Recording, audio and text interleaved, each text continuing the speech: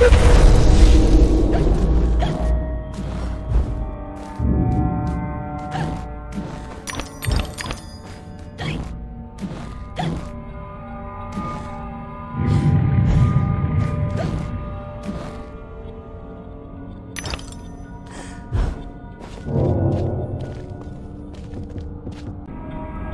no time to waste.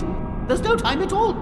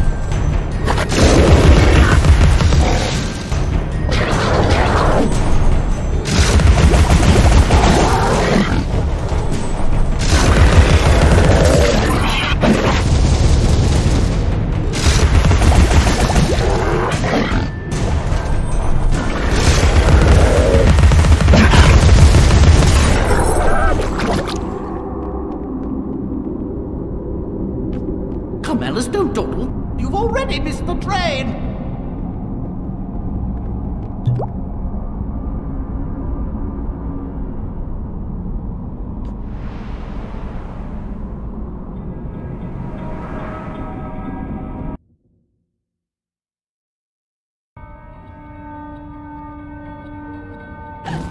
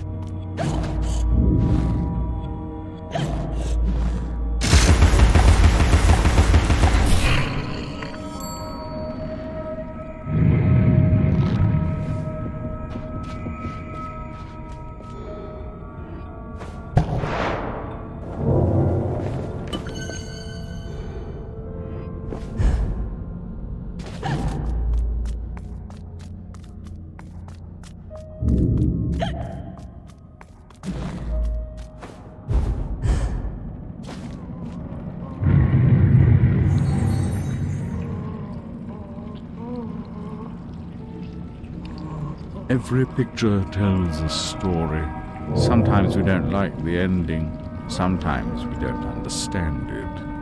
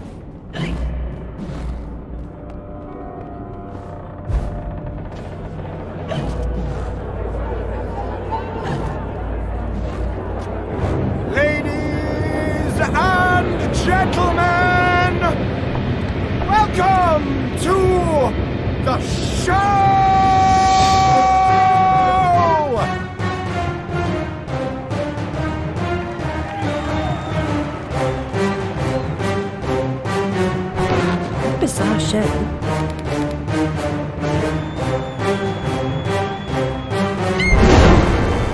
That's quite enough of that, I think. Enough preliminaries. Here's the performance you've been waiting for. Proves I'm without prejudice and have a fine sense of humour. Sword and crown are worthless here.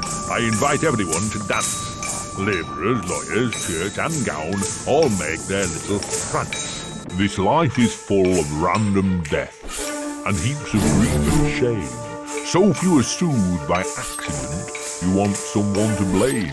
Fire, plague, and strange disease, drowned, murdered, or if you please, a long fall down the basement stairs. None are expected, no one cares. I often must work very hard, sweat running down my skin. After the dance, I then must rest, and the eating can begin. Time to eat. Death is the ultimate equalizer. All have the right to be eaten. Get a knife, creatures. Don't push. All will be served, so to speak. Wicked thing. Feasting while Wonderland is destroyed. I'm not the enemy you seek, Alice. I tried to hide this bit of Wonderland from that beast. Appeasement's never clean. We must all play our assigned roles. Are you a pawn or a queen? An idiot or a practiced fool? However this turns out, consider the prospect that you've been misled, Alice. Then ask, by whom? No! Who set that bloody train in motion? Where has it come from? It arrived when you arrived, and it's more horrible even than you could currently imagine. The death of a dream caterpillar may know how.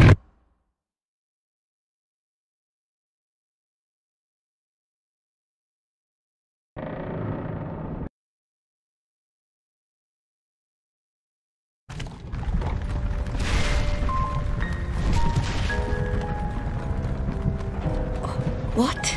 Oh, the blood in my mouth tastes like bile.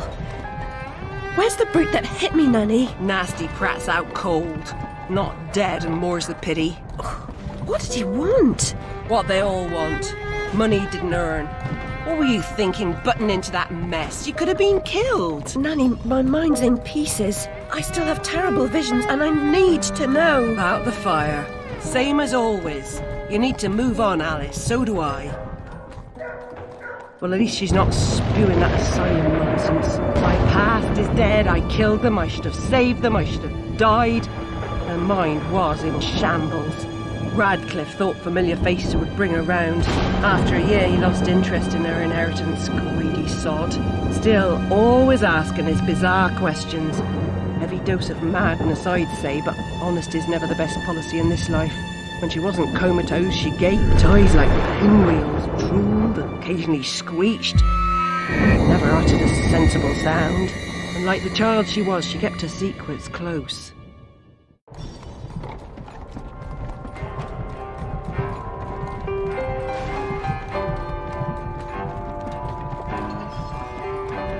Gone off some lurkers, common as cockroaches. And those poor tykes are food for perverts, like the blameless ants that wasps consume or spiders' feeble prey.